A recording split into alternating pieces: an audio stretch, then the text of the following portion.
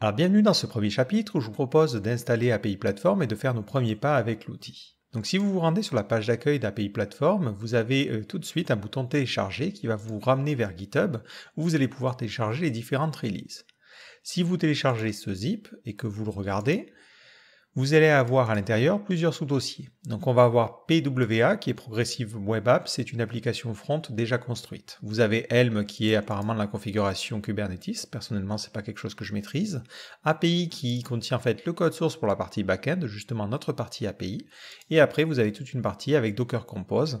Donc globalement ce package là il va être intéressant si vous voulez euh, bah, directement mettre en ligne votre, votre API plateforme. Vous avez toute la structure qui est offerte par défaut. Il y a cependant une autre manière d'installer API Platform. Si vous vous rendez sur la partie Get Started, vous cliquez ici sur Installer le framework, Installing the framework. Vous avez la première configuration, donc c'est celle que l'on avait vue sur la page d'accueil où vous téléchargez le zip. Sinon, un petit peu plus bas, vous avez une autre solution qui est basée justement sur Symfony. Donc moi j'aime bien cette solution-là parce qu'elle permet de démarrer directement en ligne de commande et on peut le démarrer depuis n'importe où. Donc c'est plutôt cette solution-là que je vais prendre. Si vous choisissez d'utiliser l'autre solution, euh, ça va être vraiment la même structure de fichier, sauf que vous allez vous travailler dans le dossier API. Alors que là, on va directement initialiser que l'API, pas tout le reste. Donc je vais prendre cette commande-là et je vais aller me rendre au niveau de mon terminal.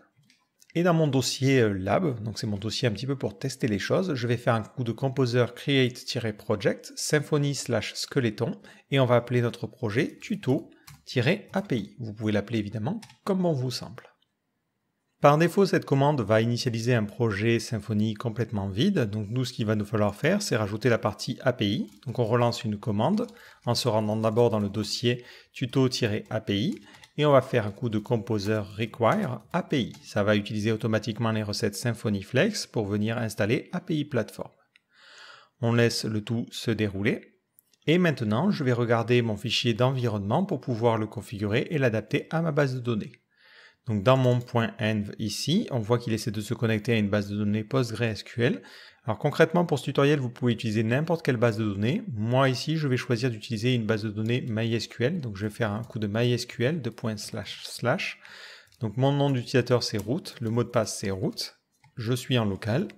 Je suis sur le port par défaut et le nom de la base de données, on va l'appeler API Platform. Et euh, au niveau du numéro de version, je vais adapter en fonction de mon système.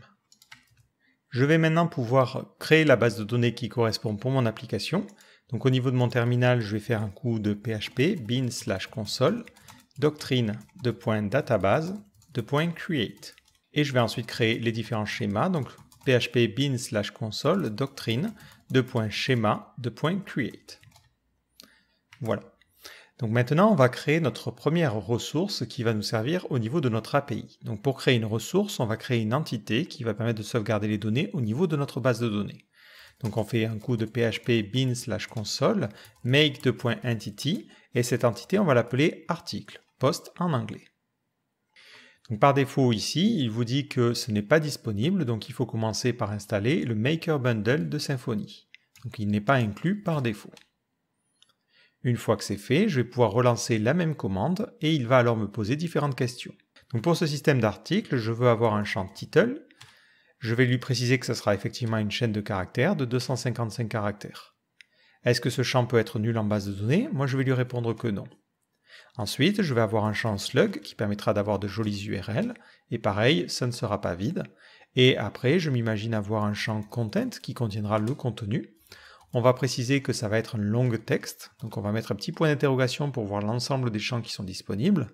Donc nous ici on va mettre texte, et on va préciser que ce n'est pas lunable, non. Et on va peut-être sauvegarder la date de création et de modification. Donc on va appeler ça created at, qui sera donc de type datetime, qui ne sera pas nullable, et updated at, qui ne sera pas nullable non plus, et qui sera aussi de type datetime. Donc là, j'appuie sur Entrée, j'ai fini de sauvegarder mon entité. Automatiquement, au niveau de mon code, il a créé dans le dossier src un fichier qu'il a placé dans Entity et qui s'appelle Post, qui représente nos données. On voit qu'il a rajouté des annotations pour préciser que ces données-là sont reliées à la base de données. Maintenant, j'aimerais bien pouvoir créer, modifier ou supprimer des articles directement depuis une API. Et c'est là qu'API Platform intervient. Donc il a automatiquement été installé lorsque j'ai fait un coup de Composer Require API. Pour m'en assurer, je peux démarrer le serveur web. Donc je peux le démarrer de deux manières, soit en faisant un coup de php-s localhost 2.8000 pour le démarrer sur le port 8000, et je me rends dans le dossier public par défaut. Si vous avez l'outil Symfony en ligne de commande, vous pouvez démarrer en faisant Symfony serve et vous allez démarrer le serveur de Symfony. Moi, je vais partir sur du très classique ici, on va simplement utiliser PHP. Si je me rends au niveau de mon navigateur sur localhost de .8000, on va voir la page d'accueil de Symfony. Si je me rends sur slash API, automatiquement, je vais arriver sur cette page-là. Alors cette page-là, qu'est-ce que c'est? C'est une documentation qui est généré grâce à Swagger UI, qui est une documentation qui est capable de lire les fichiers de définition OpenAPI et de générer une interface graphique. Et c'est automatiquement proposé par API Platform par défaut. Il est possible évidemment de le désactiver, ça sera notamment important lorsque l'on sera en production, sauf si vous avez besoin de partager la documentation de votre API, mais euh, ben, c'est offert par défaut et c'est plutôt intéressant. Donc maintenant, on aimerait bien justement créer notre premier point d'entrée. Donc ça se fait très très simplement au niveau de votre classe ici, qui est donc votre entité, vous pouvez lui préciser que c'est une ressource d'API. Pour cela, on va utiliser une annotation. Et on écrit API ressource. Donc vous voyez que mon éditeur auto-complète les choses.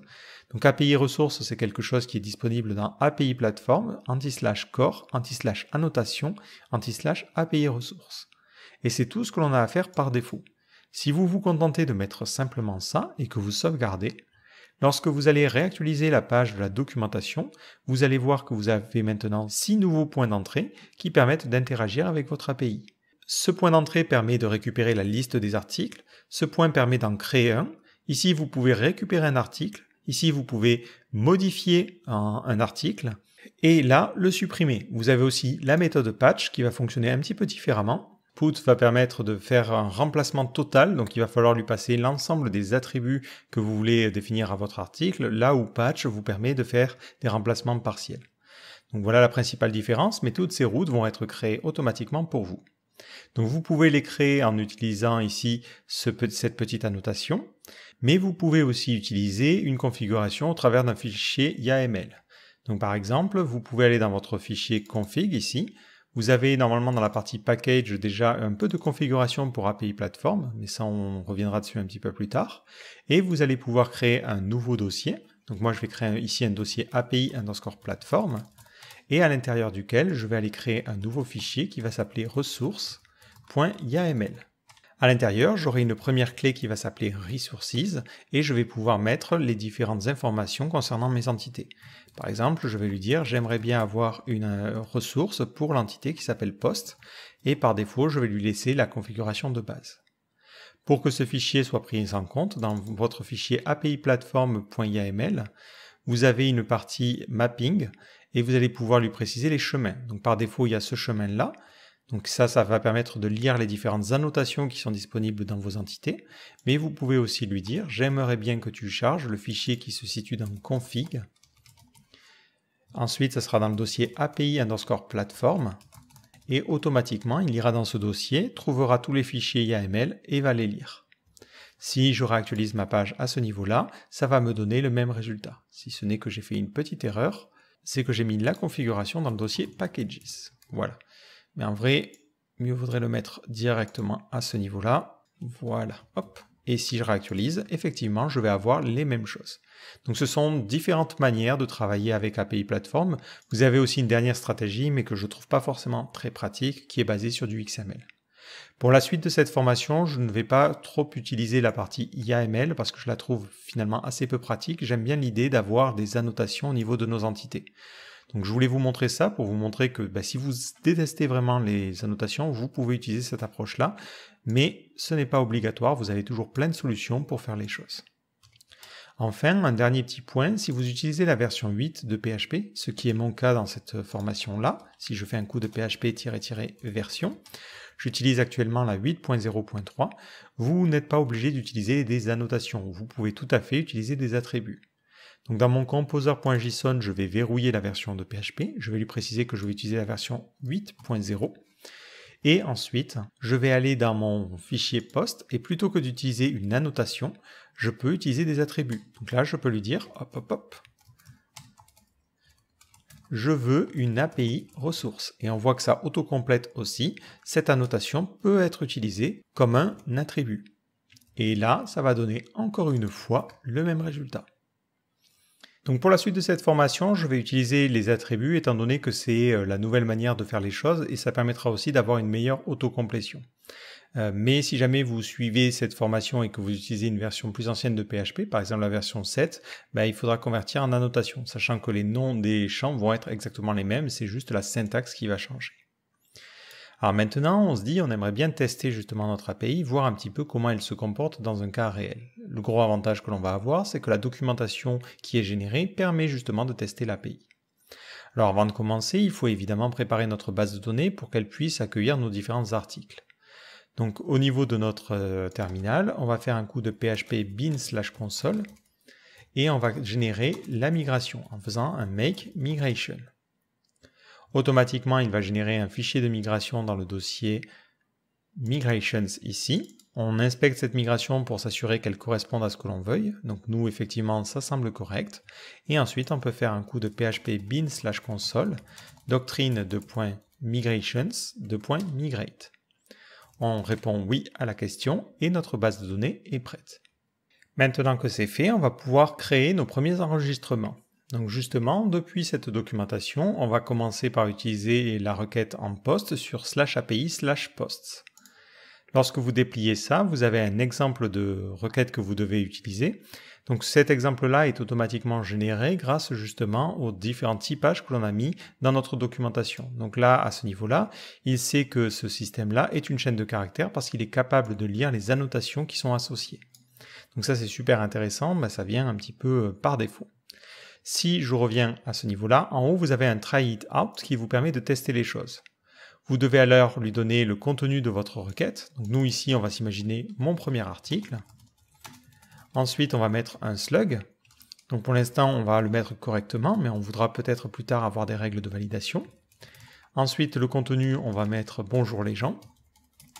Et au niveau de la date, on va laisser ce format-là par défaut. Donc c'est un format euh, ISO qui correspond à une date. Je clique sur Execute. Automatiquement, on voit la méthode curl qui va être exécutée. Donc si vous voulez retester ça au niveau de votre terminal, ben, vous pouvez utiliser cette commande-là et vous avez en bas la réponse qui a été donnée. Donc on voit que le serveur a répondu avec une réponse 201, c'est une réponse qui dit created, et voilà le body. Alors au niveau du body, on reconnaît bien nos attributs, l'id, le title, le slug, et on a ensuite d'autres champs supplémentaires comme @id, @context et @type. Donc ça, ce sont des champs supplémentaires qui permettent de donner des informations sur votre ressource qui a été créée. Donc ces champs supplémentaires ont été rajoutés parce que vous avez comme média type ici application slash ld plus. Donc ld plus c'est un type particulier qui renvoie des informations, des sortes de métadonnées en plus au niveau de vos enregistrements. Par exemple, ça vous donne euh, dans cet attribut id l'IRI. C'est une sorte d'URL qui va permettre ensuite de récupérer l'enregistrement en question. Donc ça, ça peut être super intéressant pour récupérer des informations supplémentaires. Mais il faut savoir que l'API peut répondre à différents formats. Ces formats sont configurés dans le fichier de configuration apiplatform.yaml. Donc euh, par défaut pour les patch formats, on voit qu'il n'y en a qu'un seul, mais vous pouvez lui dire pour les formats de manière plus générale, ben, je ne réponds qu'à du XML, qu'à du JSON ou du JSON LD. Donc ça permet de faire pas mal de choses à ce niveau-là. Alors maintenant que j'ai créé cet article, ben, je peux aussi euh, les récupérer. Donc je vais annuler ça. Voilà, hop, on va venir dans la partie API euh, slash API slash posts, je lui dis try it out. Donc j'exécute en lui demandant le nombre de, de, la page. Donc je vais mettre ici la page numéro 1. Je clique sur execute et voilà le retour. Donc encore une fois, j'ai les attributs un peu particuliers.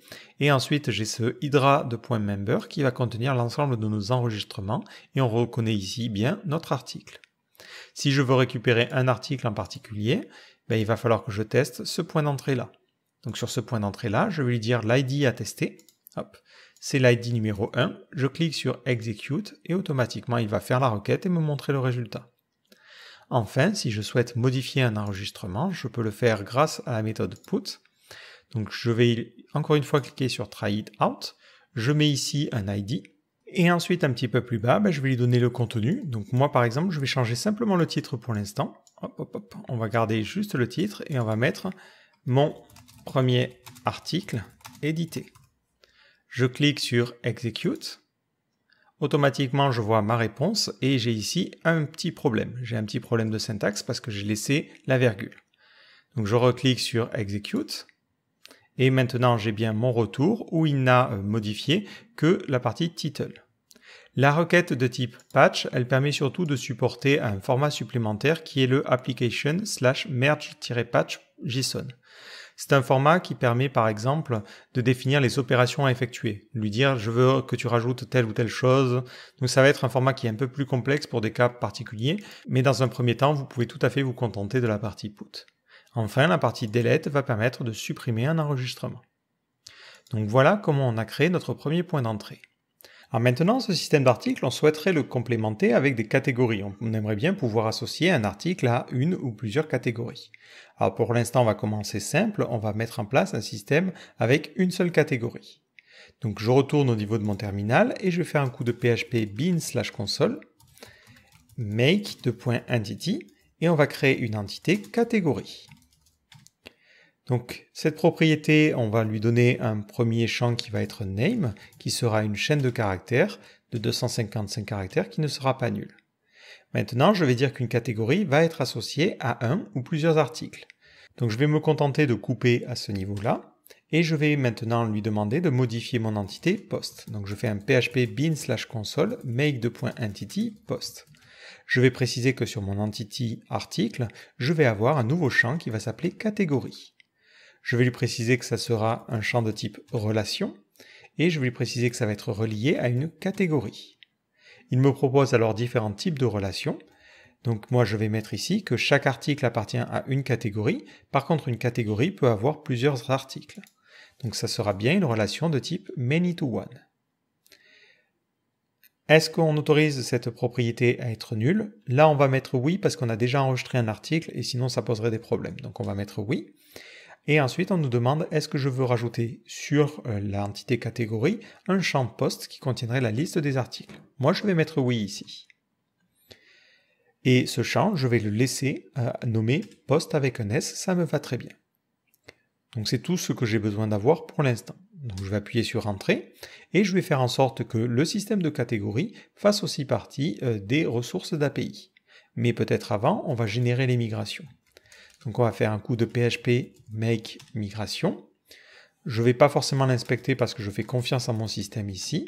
Et je vais lui demander de faire la migration. Et je suis d'accord. Une fois que c'est fait, je vais aller modifier mon entité catégorie ici et lui préciser que c'est, comme pour la partie euh, article, une API ressource.